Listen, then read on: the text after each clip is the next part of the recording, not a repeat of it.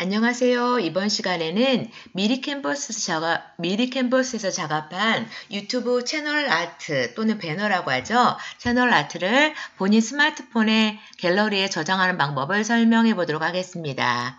자, 시작하겠습니다. 어, 본인 스마트폰에서 이 네이버를 실행해 주시고요.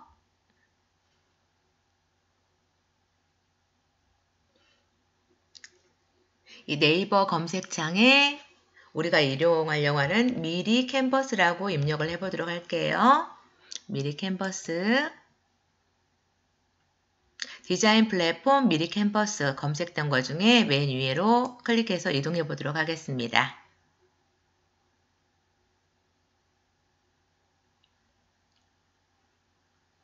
어, 보통 그 컴퓨터하고 똑같은 아이디로 로그인이 되어 있어야 되는데요. 이 석삼자 세 줄 메뉴 아이콘을 눌러주시고 로그인이 되어 있는 건지 확인을 먼저 해주시면 좋겠습니다.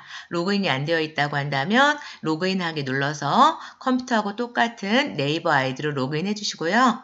이 중간에 보면 workspace, 우리말로 작업 공간이라고 하죠. workspace로 이동해 보도록 하겠습니다. 그러면 컴퓨터에서 작업했던 이 채널 아트가 나오는데요. 이 채널 아트를 클릭해서 디자인을 먼저 창을 열어줘 보도록 할게요.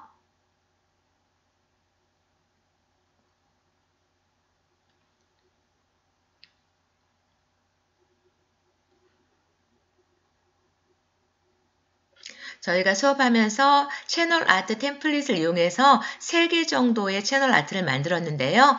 그 중에서 본인이 마음에 드는 그 채널 아트 한 개의 페이지만 핸드폰에 다운로드 받아보도록 하겠습니다. 저는 1번 페이지를 다운로드 받아보도록 하겠습니다. 이 오른쪽에 점점점 더보기 아이콘을 눌러주시고요. 이 중간에 있는 다운로드를 클릭합니다.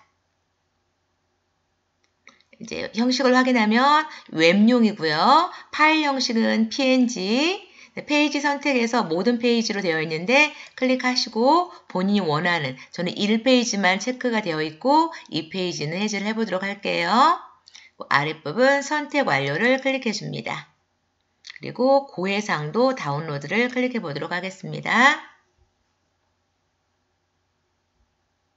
컴퓨터나 스마트폰이나 다운로드 하는 방법은 똑같은데요. 현재 저희는 스마트폰에서 다운로드 받기 때문에 어, 결과물이 스마트폰 갤러리에 저장되는 걸 확인할 수 있습니다. 이렇게 하면 다운로드가 됐고요. 어, 스마트폰의 이 가운데에 홈 버튼을 눌러서 빠져나가 보도록 할게요. 본인 갤러리에 들어가셔서 사진 이렇게 다운로드 받았는지 확인해 주시면 되겠습니다. 이렇게 이번 시간에는 스마트폰에서 미리 캠퍼스의 작업 결과물을 본인 갤러리에 저장하는 방법을 알아보았습니다. 감사합니다.